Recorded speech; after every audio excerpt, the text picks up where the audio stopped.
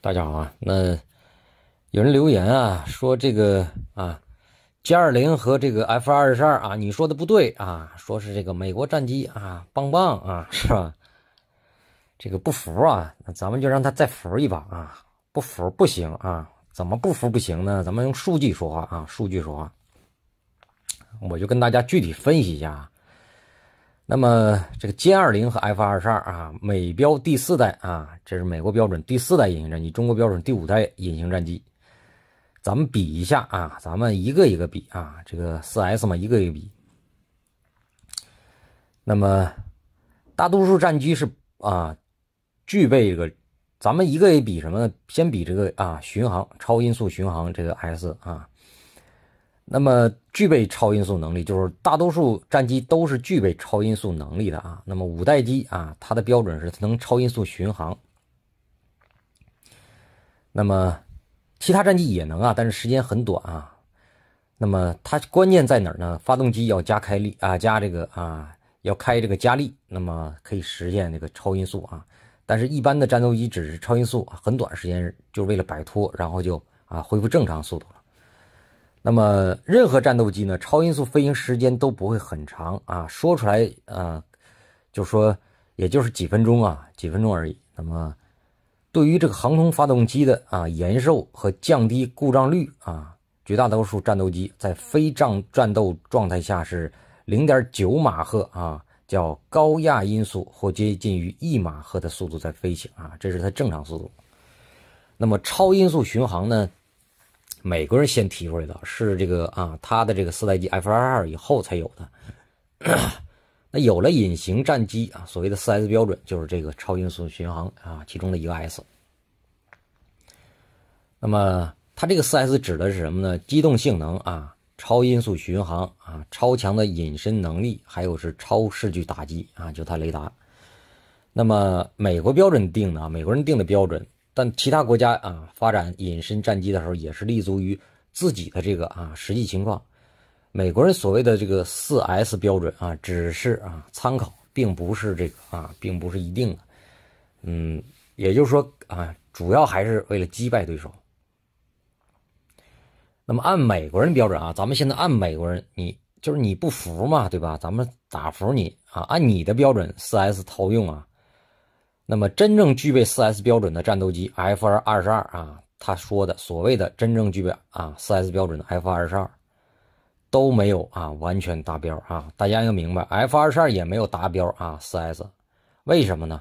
因为四 S 标准中啊，超音速巡航 F 二十二啊达不到，F 二十二啊达不到连续超音速飞行啊，只能勉强超音速啊状态下飞行不足三十分钟。大家要记住这个数字啊。F 二十二超音速巡航只能勉强啊维持不足三十分钟，因此呢，全程具备超音速巡航的飞机啊几乎没有啊，现在世界上没有。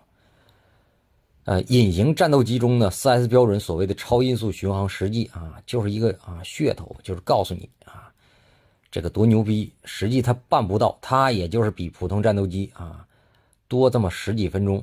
它不到三十分钟，也就是别的战斗机几分钟，你不到三十分钟，也就是说你所谓的可以进行超音速巡航。大家知道超啊这种超音速情况下多一分钟，那就是一百公几百公里啊，是这意思吧？所以它它摆脱可以啊，它可以摆脱，就是换句话说，它可以一千公里啊这个范围内可以加速摆脱啊。所以它所谓的就是啊超音速巡航，其实它它也做不到全程超音速巡航。它只能做到不到三十分钟超音速巡航，F 二十二。那么，美国它提出的超音速巡航，指战斗机在不开加力的情况下，能够维持在一点五马赫以上进行超过三十分钟超音速巡航。那第四代隐形战机就是美国啊，美国这个第四代就是中国的五代啊，F 三十五啊，最大飞行速度啊只有一点六马赫，实际上呢，在飞行过程中啊。太笨重了，它这个单发啊，它是单发战单发引擎，F 三十五达不到这个速度啊，也不要谈什么超音速巡航了，它只有一点六马赫，它根本就啊不可能超音速巡航，它只有单发，也就是说啊机动性啊也不存在。那么但是美国你看到吗？它仍然是把 F 三十五这种啊不达标的飞机也是标为四代隐隐形战机啊，就是噱头。所以你你们这帮美吹啊也好啊，这个美分也好，你想一想，它是不是达标了，然后再谈。你确实没达标，但是你还是把它列进去了，什么原因你自己想啊，吹牛逼呗，是吧？那么咱看歼二零啊，歼二零能否达到超音速巡航啊？咱们看一看啊，那。歼二零啊，首先选的是这什么？首先，它是比这个 F 二十二更晚一代啊，更晚研发的。那也就是说，它所有标准都是针对你的 F 二、F 二十二、F 三十五。那它更符合中国的空中啊，空中这个战力的这个需求啊，超机动性啊，超音速巡航能力啊，这都是啊，这都是中国啊主要针对的。就针对你不能超音速巡航，我肯定是针对要做了某些啊改进、某些研制。所以说呢，中国啊歼二零啊，除了在这个啊超音速巡航方面啊向美国这边对标以外，还有什么信息啊？大家一直定记住，就是四代机还有一个什么啊？还有一个标准，就是在这个信息化程度上啊，信息化程度上，中国是什么？是晚于这个。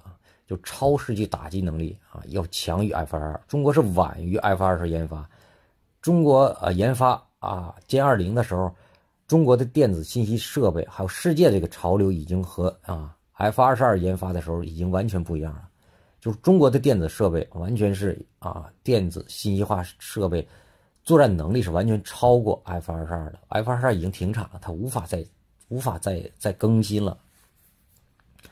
所以中国的优势什么呢？在信息化战争中，中国的优势就是在这个啊，在这个战场感知能力啊，信息获取能力上。那么，这是啊，全面超过啊现在的 F 二十二。也就是说，我可以先敌发现，而且呢啊，长续航啊，长续航啊，速度快。呃，你是能跑三十分钟，但是你是先被我发现，你能跑过我的霹雳十五导弹吗？是吧？所以这。这个是本质啊！你而是 F 二十二遇到歼二零啊，只有被追打的啊，只有被追打的份儿。所以这个不是我说，中国的歼二零飞行员在接受央视采访的时候，亲口承认啊，追打 F 二十二啊。中国的啊歼二零飞行员不会当着媒体面撒谎的，这可以告诉大家啊，中国就没有这个撒谎啊，没有撒谎的这个传统。